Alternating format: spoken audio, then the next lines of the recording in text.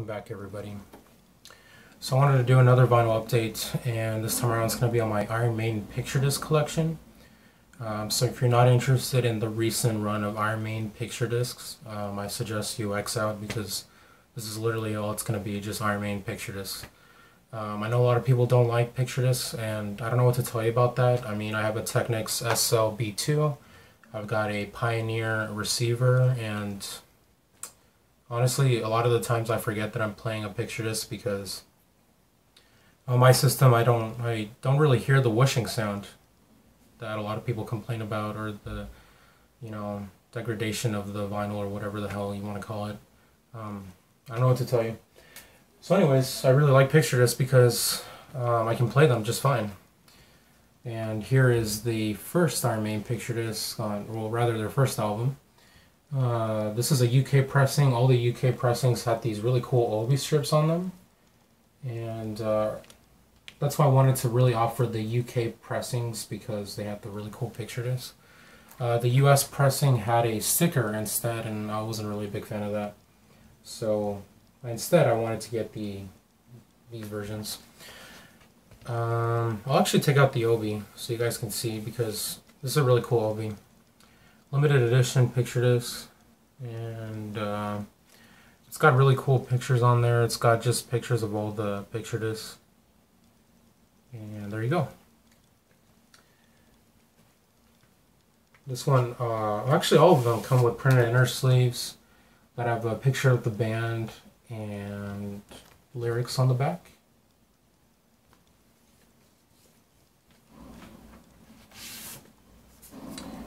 Here is the actual vinyl itself with the running free single artwork. Really, really cool art. And the Prowler single over here. So, um, yeah, I'm not going to be talking about the music on these because, you know, if you don't know Iron Maiden by now, I don't know what to tell you. Other than you need to stop this video and, and go listen to them instead. But, yeah, also I really like the covers because they're nice and glossy. I really, really like that a lot. So yeah, that's the first Iron Maiden album. Here's the next one. This is Killers. Really cool artwork. And here's the back. Here is the gatefold.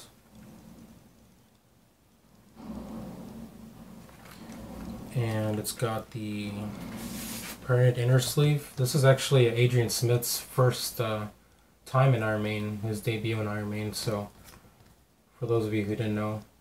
A lot of people are surprised to know that actually. Um, and also,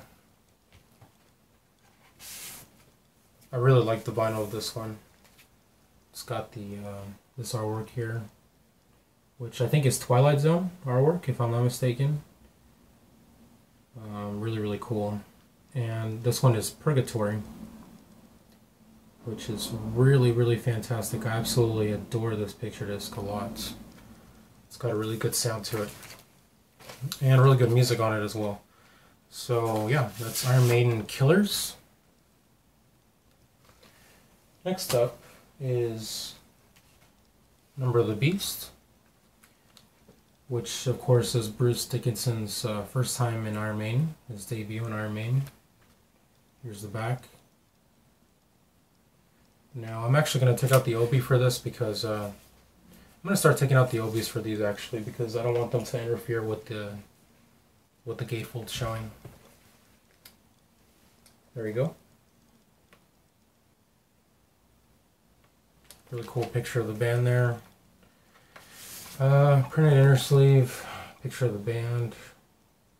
I don't really need to say much about this album because, you know, it's a legendary album in heavy metal.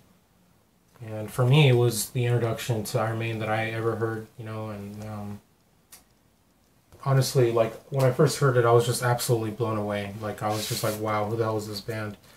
And I remember just spinning this constantly, all the time. This is running, uh, I'm Run to the Hills artwork which is really, really cool. And here's Number of the Beast artwork.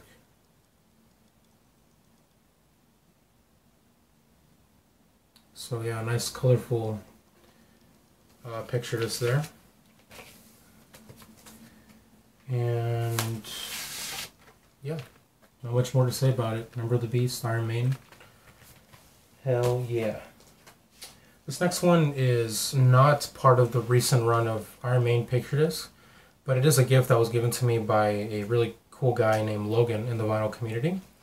And this is uh, the Trooper picture disc, which is really, really nice. It just comes in a sleeve here, which actually I, I enjoy because most of the time picture discs, they just come like this with just the, the plastic on it, and I really hate that.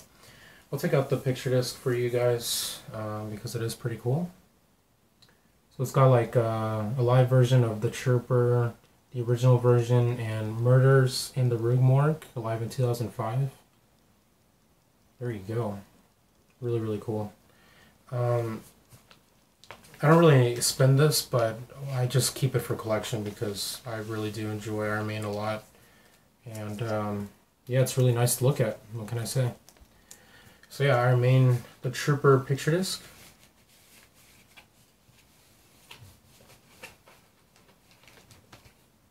Mm-hmm. Next up is Piece of Mind.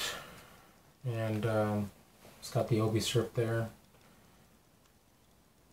Very nice glossy work. And I'm actually going to take out the Obi so I can show you the full art on both the gatefolds and the front of the album. So there you go. And here is the back.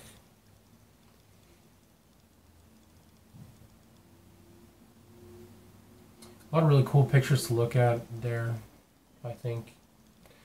Um,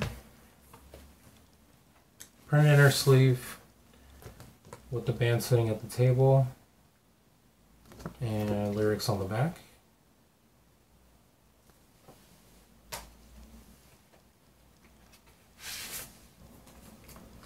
Here is uh, the picture disc. I really, really like this one a lot as well. I know I've been saying that a lot for these, but what can I say? I just, I really like picture discs uh, when they're really nice and colorful. I don't like them when they're really plain, you know, or when there's not really a hell of a lot of reason to to make a picture disc for it. But, you know, what can I say? When, when it comes to really good, colorful artwork like this, I really, really enjoy them. Um, this album, I don't know, I gotta tell you guys, I think this album is underrated, you know, and Iron Maiden, they don't even play any songs from this album live, like, except for The Trooper and maybe Die With Your Boots on. But, you know, Where Eagles Dare, Revelations, To Tame a Land, Sun and Steel, Quest for Fire, I have no idea why Iron Maiden don't play these songs live. Um, they're really, really good. Okay, uh, next up is Powerslave. An album that's really near and dear to my heart because uh, the first time I ever saw Iron Maiden live was on the Somewhere Back in Time World Tour. And um, they played a lot of songs from this live. I saw like half of this album live, which I'm really privileged to say. I mean, I saw a freaking Rime of the Ancient Mariner live. I mean, that is huge, huge for me. I really love that song. Uh, here's the gatefolds.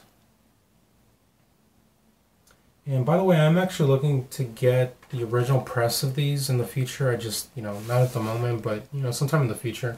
I would prefer Japanese presses, especially for this one. This one has a really cool obi in the Japanese press. Um, the only thing is about collecting these on Japanese press, you got to make sure they come with the poster and everything. and all the stuff, having everything complete. Uh, this is the two minutes to midnight artwork. And uh, here's the Aces High artwork. Really, really cool stuff. And so yeah, I really love this album a lot. I think this is one of my favorite Iron Maiden albums. Powerslave, really, really amazing piece of art here. Moving on to, this is the second to last one. Uh, this is Somewhere in Time and I really, really like this album a lot. I know Bruce Dickinson, I think he didn't make any material on this, which is kind of odd, because, you know, since he started Iron Maiden, he had been contributing on a regular basis to the music but he didn't actually contribute to this album, I don't think. Uh, here's the full artwork. Really, really insanely good. I adore this artwork a lot. Uh, it's one of those things where it's like there's a lot of little things to look at, so you can just stare at this forever.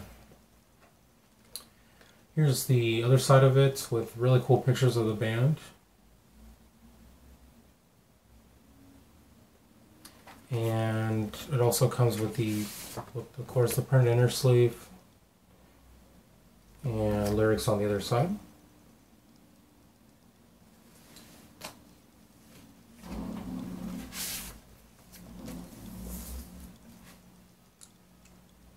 Here's uh, side A. And I forgot what the artwork to this is, so I'm sorry about that. But I think this one is Stranger. Oh, I'm sorry. Yeah, this is Wasted Years. That's what it is. And this is uh, Stranger in a Strange Land, I think. Uh, really, really cool stuff here. So yeah, there you go. Um, really great album. It's got a lot of underrated songs on here as well, so do check this one out. Somewhere in Time by Iron Maiden. Really, really great. Next up is the last one. This is a Seventh Son of a Seventh Son, which is an album I'm really, really fond of. Um, oddly enough, it doesn't get you know mentioned a hell of a lot in you know people's favorites of Iron Maiden, but I really, really love this album a lot. I can tell you guys that right now that I really love this album. Um, here's the full artwork here.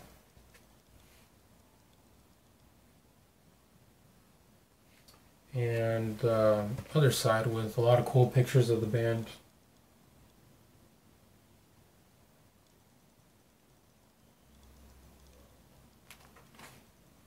Printed inner sleeve, which I will take out now.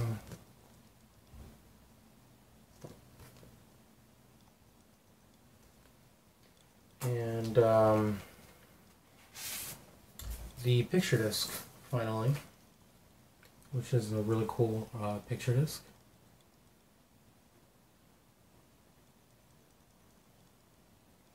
So yeah, there you go, you guys. Uh, that is my Iron Maiden picture disc collection. Um, as I said, I will be getting the original presses, you know, in the future, but it's going to take me a while because, as I said, I am am looking to get the Japanese presses of them, and you know, Japanese presses on vinyl are really, really expensive. So it's kind of going to be a journey, really, of I think, many years to come to get them all complete and on Japanese press. Um, but for now, those will suffice, you know, for playing on my turntable, I think. And um, yeah, I will catch you guys all later. Thank you for watching, and goodbye.